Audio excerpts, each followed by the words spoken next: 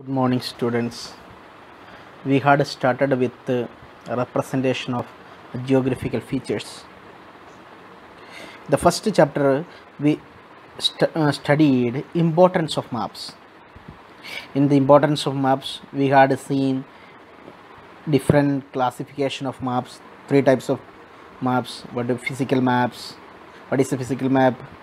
Physical map shows the natural features of features of the earth like mountain, plains, plateaus, water and then political maps. What is a political map? Political division of the earth like a country, states, cities are marked along with their depicted boundaries. Then third one is a thematic map. What is a thematic map? As the name suggests, the map have a specific theme or subject. They may be road maps, rainfall maps, vegetation maps, etc. Then we had uh, discussed about types of maps, large scale and small, uh, large and small scale maps. What is a large scale and small scale map? What is a small scale map? When a large area is shown on a paper, very few details may be marked. This is a small scale map. Then what is a large scale map?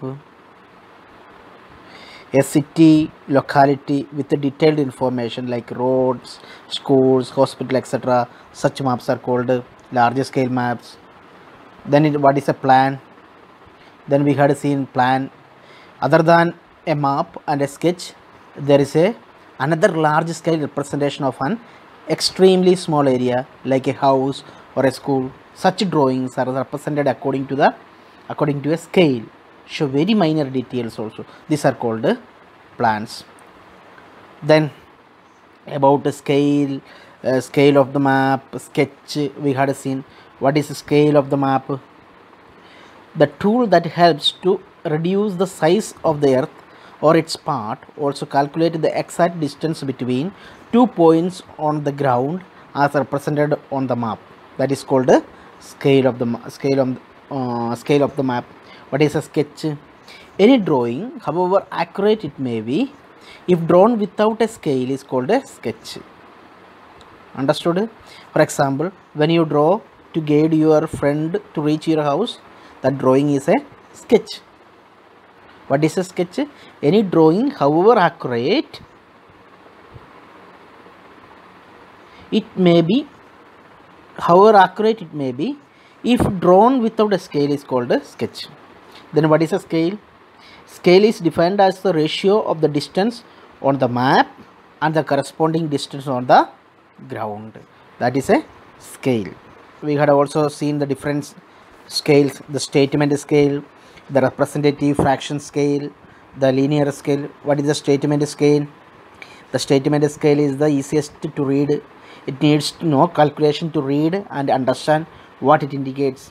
It uses simple words to represent the ratio of the distance on the map to that of corresponding distance on the ground. See, the to represent the ratio of the distance on the map to that of corresponding distance on the ground. That is a statement scale. What is a representative fraction? Representative fraction scale overcomes the uh, disadvantage of the statement scale. The representative fraction is given as a ratio of the distance on the map taken as a unity to the corresponding distance on the ground where both the values have the same unit and therefore same the same unit and therefore no unit. That is a representative fraction. Then we had converted that statement is there. For example example is given there. You go through that. Then what is a linear scale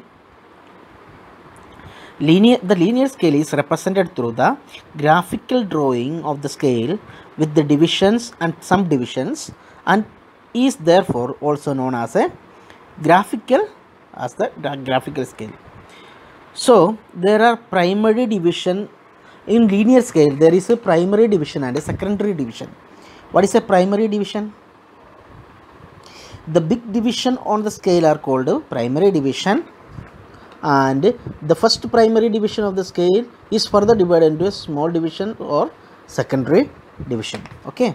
So the zero or the beginning of the scale are or scale is marked after the first primary division. The first primary division of the scale is further divided into the small divisions or the secondary divisions. Okay.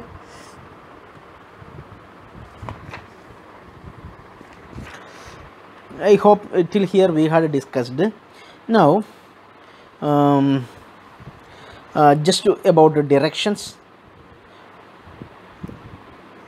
You just to go through the directions already given here, um, like south, north, west, east, southwest, northwest, northeast, and southeast.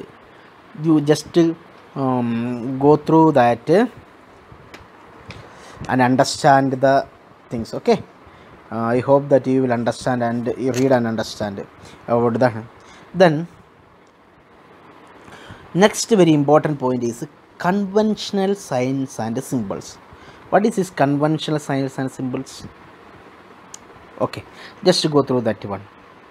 The size of the map is much smaller than the actual size of the land that it is represented due to this reduced size on the on a map it is not possible to show the natural and man-made features on the map in their actual shape and size. Therefore, some symbols which are accepted all over the world are used to represent features like rivers, mountains, roads, cities, etc. on the map. These symbols are known as the conventional symbols. Did you understand? Read that one. What is conventional symbols? ah some of the features cannot be represented on so what happened therefore some symbols which are accepted all over the world are used to represent features like rivers roads mountains cities etc on the map these symbols are known as conventional symbols these symbols are useful as they facilitate the representation of meaningful information on the that is a conventional symbols. Above the you see the picture page number 11 you could see the picture. Different signs of uh, dif- uh, different different types of conventional signs are given in that uh, red paragraph.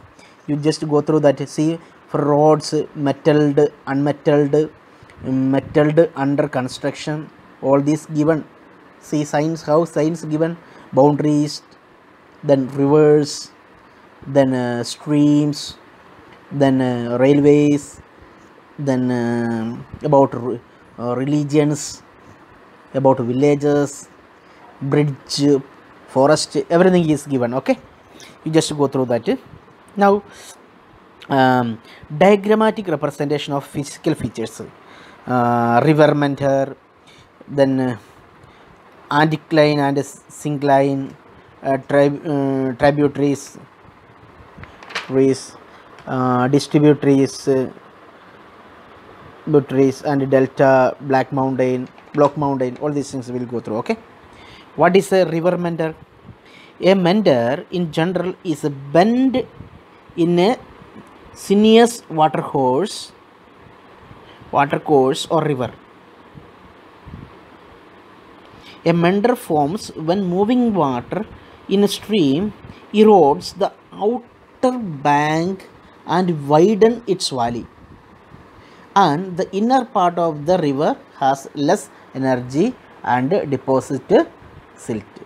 In the picture you could understand that. What is a meander? What is a river meander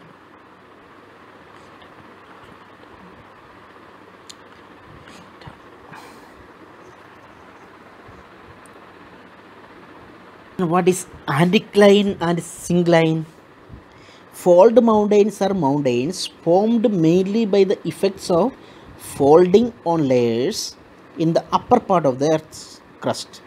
The part of the fold rising upwards is called anticline and the part of the fold which sinks downwards is called a syncline.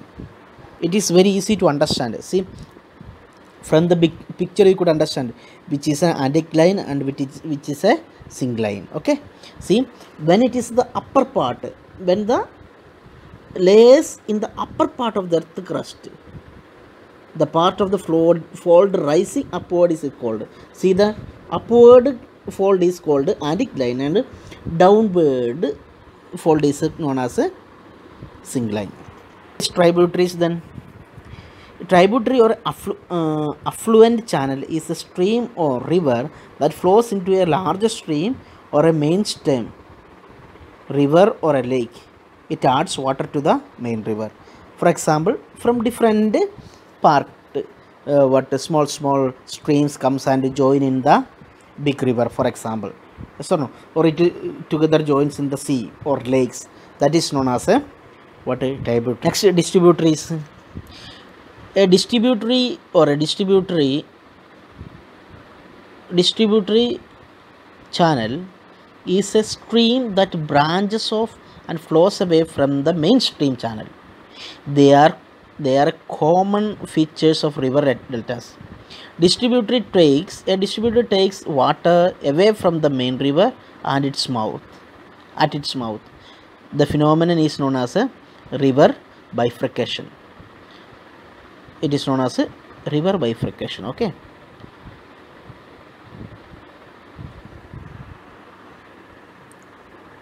What is a delta? A wide inverted y-shaped alluvial fan at the mouth of a river when it empties into the sea is called a delta.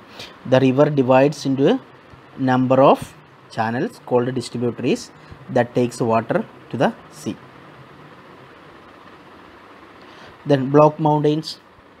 The fo- the fault block mountains or a block mountains are created when the faults or cracks in the earth crust force earth crust force materials or blocks or rocks upward or down. The uplifted blocks are block mountains or horst the intervening dropped blocks are called graben